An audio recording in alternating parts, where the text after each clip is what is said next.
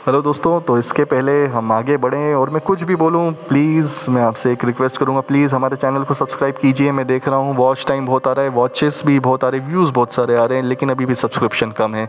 तो मैं आपसे ये रिक्वेस्ट करूँगा प्लीज़ हमारे चैनल सब्सक्राइब कीजिए and say no to piracy क्योंकि आजकल हमारा मोटो यही चल रहा है। So thank you very much and keep watching keep subscribing thank you hello दोस्तों तो कैसे हैं आप लोग? आज एक बार फिर हम आए हैं कॉमिक्स यादें के अगले एपिसोड के साथ में। हमने कई बार देख, देखा है कि हमारे जो सुपर हीरोज़ है, वो बिल्कुल भगवान के समान, एक देवता के समान आते हैं और लोगों को बचाते हैं। तो इसलिए इसी कड़ी में आज हम बात करेंगे परंपरा कॉमिक्स के देवगण के बारे में। इसके पहले हम आगे बढ़े, मैं एज़ यूजल आपसे रिक्वेस्ट करूँगा प्लीज़ हमारे चैनल को सब्सक्राइब कीजिए वीडियो को लाइक शेयर और कमेंट कीजिए, अपने फीडबैक दीजिए। लेकिन आपका सब्सक्राइब सब्सक्रिप्शन जो है, वो सबसे ज़्यादा इंपॉर्टेंट है, इसलिए प्लीज़ सब्सक्राइब कीजिए। जी हाँ तो जैसा हम बात करें, देवगण जो है, जो ये जो शब्द है, ये आया है देवताओं के समूह से, या वो जो देवता का अनुचर है।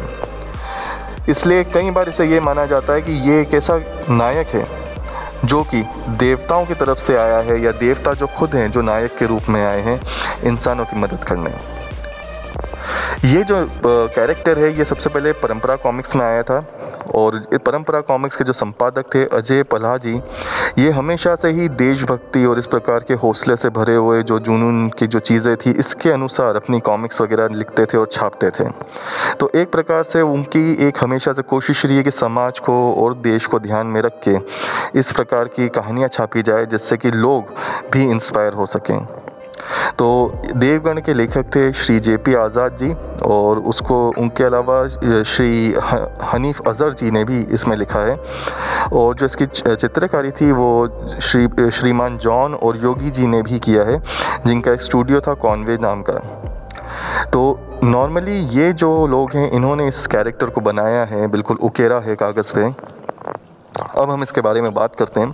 सबसे पहले तो देवगढ़, जो कॉमिक्स का कैरेक्टर है, ये सबसे पहले आया था खतरों के खिलाड़ी नाम के कॉमिक्स में और उसके बाद से ही उनका एक ये निक नेम भी पड़ गया कि देवगढ़ इक्वल टू खतरों का खिलाड़ी। तो इसकी जो बैक स्टोरी वो ये है कि ये एक बहुत ही बहादुर नौजवान है, देशभक्त नौजवान है और उसका एक ही लक्ष्य है कि जो देश में जो आतंकवाद है, अलगाववाद है, जो लोग देश के दुश्मन हैं, जो लोग, जो भटके हुए नौजवान हैं, उनकी मदद करना और जो राष्ट्रवाद और जैसे मैंने बताया कि जो सॉरी आतंकवाद वगैरह जो है उनको ख़त्म करना, उनको निस्तु नाबूद करना तो इसके लिए वो हमेशा आता है, पुलिस की मदद करता है और जैसे कि नॉर्मल हीरो करते हैं, आता है, मदद करता है और काम ख़त्म होते ही गायब हो जाता है। नॉर्मली बिल्कुल वो बहुत ही फास्ट है बिल्कुल छलावे के समान आता और गायब हो जाता है।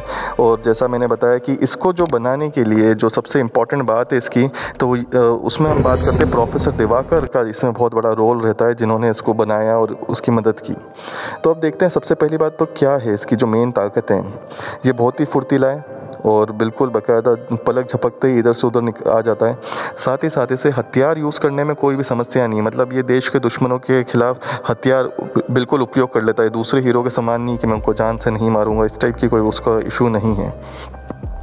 फिर जैसा मैंने आपको बताया प्रोफेसर दिवाकर ने उसे बनाया था तो उसके उनके बनाए हुए सुपर सूट को पहन के वो उड़ भी सकता है और उसमें काफ़ी पावर्स भी आ जाती है।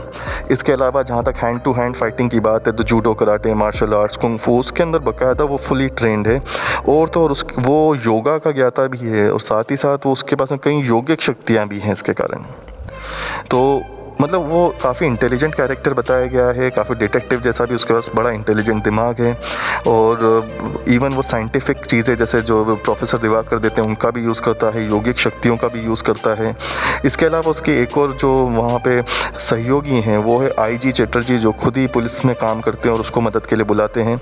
और साथ ही साथ उसकी एक फ्रेंड भी है, जिसका नाम तिजांगी है, जो कि तिजांगी कॉमिक्स में दिखी भी है। तो इसके अलावा ये भी एक चीज़ है कि वो नॉर्मली हालाँकि उड़ सकता है, लेकिन कई बार उसको मोटर मोटरसाइकिल यूज़ करते हुए दिखाया गया है। और तो और कुछ कॉमिक्स में ये भी दिखाया गया है कि वो बाकायदा सम्मोहन हिप्नोसिस का ज्ञाता है और वो हिप्नो हिप्नोटिज्म का भी यूज़ करता है। तो ये जो कैरेक्टर है ये अपने आप में बड़ा ही देशभक्ति से ओतप्रोत करने वाला कैरेक्टर है। तो मैं आपसे यही रिक्वेस्ट करूँगा अगर आपको कभी भी मिल पाए कॉमिक ज़रूर पढ़िएगा इसकी कहानी काफ़ी अच्छी हुआ, हुआ करती थी और हमेशा पढ़ के एक रोंगटे खड़े हो जाते थे एक देशभक्ति फीलिंग हमेशा आती थी। तो मैं आपसे रिक्वेस्ट करूँगा जाने के पहले एक बार प्लीज़ कि हमारे चैनल को लाइक सब्सक्राइब करें। मैं उम्मीद करता हूँ वीडियो आपको पसंद आया और अभी इंडिपेंडेंस वीक चल रहा है तो अभी हम कोशिश कर रहे हैं हर रोज़ आपको एक एक वीडियो दें और साथ ही साथ इस वीक एक कॉन्टेस्ट भी शुरू हो रहा है मेगा कॉन्टेस्ट तो उसके बारे में भी इन्फॉर्मेशन जल्दी मिलेगी। Thank you for watching